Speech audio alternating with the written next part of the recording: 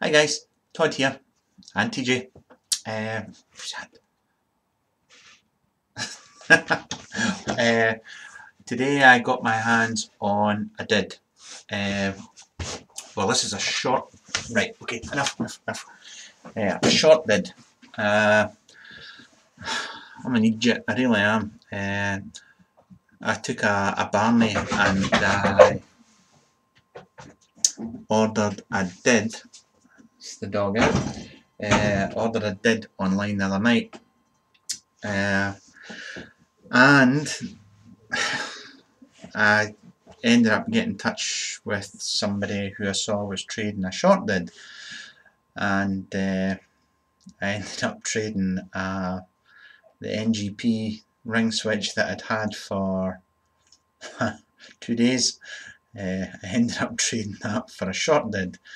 Uh, which was somebody I traded with before, Ryan, and uh, hell of a nice bloke, and he met up with me today and we exchanged, and uh, he also gave me some. Uh, is it the Vermouth Vapor Smoke? So i am going to have a go at this later on. Uh, but anyway, the short did. Uh, I'm not going to tell you anything you don't already know here. You'll have seen all the other reviews.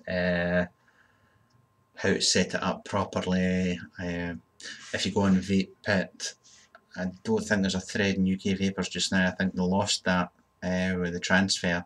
Uh, but there's a good thread in Vape VapePit that takes you through all the hints and tips on uh, what to watch out for setting it up and some of the little foibles with it. Uh, but right now I've got it on a P plus 18350 with a good sense DCA short tip, uh, which I think just looks lovely on it. I really do. Um, how does it, well, usual, how does it vape? Um,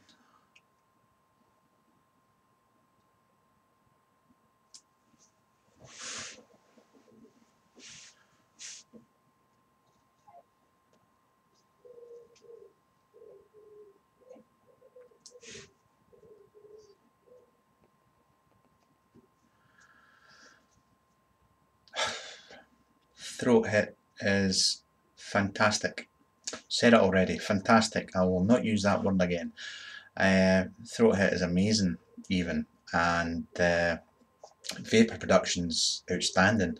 Uh, I'll just unscrew this. If you, I mean, the first thing you'll notice is that I've got a clear tank on it.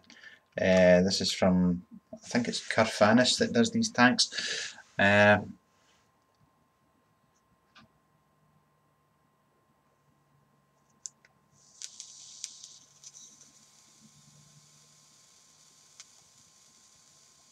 No hotspots there, it just keeps vaping away quite the thing.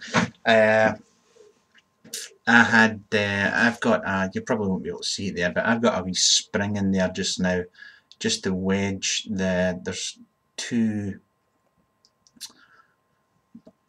what we'll call them, uh, screws, we'll call them two screws just now, uh, or flat washers, screw washers uh, there, and uh, I found at first when I got this and I was coiling it and you, you know you're trying to hold the bottom one in place get the coil round and then tighten the top one down to pin it. But as soon as you tighten the top one it was actually pushing the bottom one down. It, it wasn't making much of a purchase on it. And every time I fired it pop fired pop. Uh, so I went and read the thread and VapePit and somebody mentioned uh, putting a wee spring from a pen in it which I promptly did. I put that spring in there, coiled it all up, fired it, away it went. It fucking almost said the word, it really good. the only thing I did do was that I screwed in the the filler screw, the Allen key head, into where you fill the tank up. Uh, but what I didn't notice was that uh, it was actually just touching the edge of the spring here. So pushed the button at the bottom and just about blew my finger off, uh, burnt my finger off because uh, I shorted the thing out. So that was a bit of a fright. So that's why the filler is actually off just now. The, it's the exact same as the other one here uh, sits in there. Whether you need it or not, I don't know. I don't get any, I've tipped it upside down and I don't get any juice coming out of it at all. Uh, I do get juice coming out of the the wick though, uh, but it it's not tight in the hole. Uh, Dancer was down and he recommended that you leave it so that it's just sitting in the middle of the hole but kind of not touching the sides. So I've done that and uh, and it seems to work. I mean, it, it just I had a hot spot at first and then I just put the syringe back down and just moved it a tiny wee bit, fired that again, hotspot gone, and that was it. It's been vaping away quite the thing since I got home today. Uh, the threads on this thing are just lovely. I mean, they really are just stunning. Um, the the whole thing. I, I mean, I've got the large disc, large did coming, and I've got it coming with a clear tank as well. I've actually got. Uh, excuse me, just a second.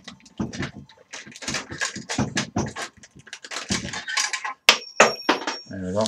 I've got the tank there. I mean, I got that uh, from Ryan as well and I got the bag with uh, there's a pile of washers in there and another fills it's big washers and tiny wee washers there's a drip tip another fill screw uh, there's some mesh as well that's cut to size and some wick I'm assuming that you get all that with it as well when you buy it uh, I'm just not a fan of it with uh, the stainless tank cover um, I, I really like to be able to see what's in there and it, it just gives it a better look in my opinion. Uh, so that's really it. Uh, that is the did. If you want to see how to set up, coil it, then I suggest you go and look at uh, Scott's videos. Uh, also possibly look at his video where he uses cigarette paper to stop the hot spots but in all honesty I got the hotspot once, moved the top of the wick and the uh, hotspot gone. Uh, I, I, found it really easy to set up. Uh, I know Ryan, I mean part of the reason he traded was that uh, he found the quite footery to get in and about. Uh, whether the the short did and the, the big did, if you want to call it, are uh, you know, there's less space or they're set up differently, I don't know. But if you can if you can coil a Cyclone V2, Cyclone V2, then you can basically map and you can coil anything. Uh, or maybe not everything. Because the Hellfire just drives me mad. But when it vapes, it's fantastic. But setting the bugger up, ah! Uh, anyway, uh, so that's the did, uh, the short did, I should say. I don't, I'm not sure what the capacity is. I think it's uh, two and a half mil, two mil, two and a half mil. Uh, what you see there, I mean that's, I've been going on that for a couple of hours now, and it's, uh, it's not destroying it like, uh, say the, the Mini Hellfire or the Genesis line because they seem to really go through the juice. Uh, but the trade-off vapor taste and whatnot, uh, so far I'm really impressed with this.